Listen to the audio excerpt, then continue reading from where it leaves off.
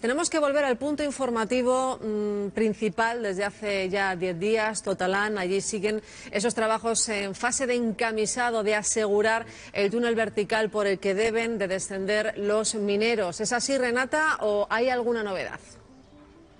Pues sí, efectivamente, como decíais, se sigue en esa fase de colocar tubos en el túnel para asegurar esa bajada de los mineros. Una maniobra que se retomaba esta mañana porque ayer hubo problemas al encontrar un saliente, se ha perfilado durante toda la noche y a primera hora de esta mañana se retomaba esa tarea de entubar esa galería por seguridad para los mineros. Nos dicen que hay que darles tiempo porque desde aquí hemos estado viendo como hasta hace unos minutos, a ver si nuestra cámara nos puede dar plano, ahí estáis viendo un extremo de esa esa tubería. Hasta hace unos minutos estábamos viendo cómo estaba prácticamente toda esa tubería, todos esos tubos soldados en el aire, en una grúa. Desde hace eh, pocos minutos hemos visto que ya va descendiendo, así que parece que sigue bajando hacia esa galería para asegurarla. Son trabajos, nos dicen, no planificados, que son decisiones que se van tomando sobre la marcha, así que lo que se está verificando ahora es que encaja bien en el fondo. Nos piden paciencia porque aquí, como os podéis imaginar, pues lo que está deseando todo el mundo es que se termine ya esta fase de entubado para que los mineros puedan bajar ya lo antes posible. Una vez que se encaje toda esa tubería, que son unos 12 metros, 12 tubos de 6 metros de largo cada uno, quedarían 12 metros por encima ¿eh? de esa perforación de 60 metros y habría que rellenarlo con tierra para asegurar eh, toda esa bajada, que no haya desprendimientos en esa fase final que sería cuando bajen los mineros. Aquí estamos muy pendientes además del cielo porque está nublado y en algunos momentos además también ha empezado a llover. Esperanza, a veces ocurren milagros. Yo no sé si vosotros eh, tenéis hijos, yo creo que es difícil imaginar cómo, cómo lo tienen que estar pasando esos padres.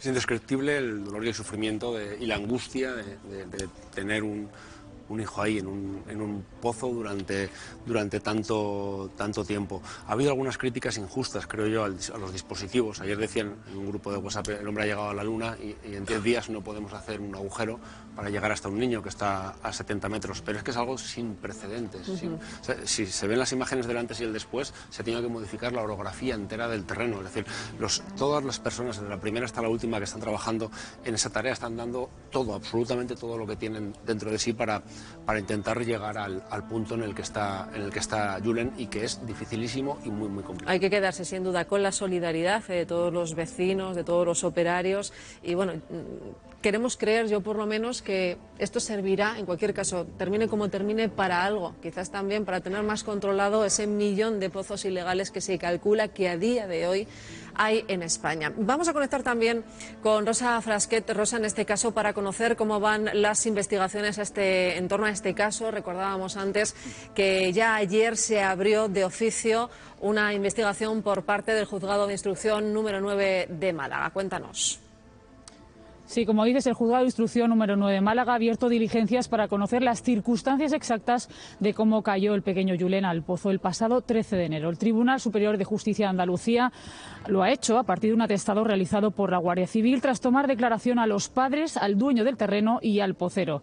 Durante las horas siguientes al accidente, los agentes del Servicio de Protección de Naturaleza reconstruyeron los hechos a través de la declaración de los padres, de los testigos allí presentes y también del dueño de la finca. El pocero negó a la Guardia Civil haber destapado la prospección y afirma que alguien ha modificado y rebajado el terreno. Cuando visitó además también allí la zona, comprobó que se habían realizado movimientos de tierra posteriores a su trabajo. La Junta de Andalucía informó que no se ha tramitado ningún permiso para excavar un pozo de más de 100 metros, ni constan las autorizaciones obligatorias para realizar una prospección de agua. Ahora, todos los informes, declaraciones, atestados, pruebas de ADN y el biberón en el pozo serán remitidos al juez de instrucción número 9 de Málaga. Gracias, Rosa. Dos frentes abiertos. Por una parte, lo prioritario es el rescate. Por otro, esa investigación de oficio que se acaba de abrir y que va a intentar pues, determinar y depurar responsabilidades de ese pozo que, si lo estamos contando, no contaba con esos permisos necesarios.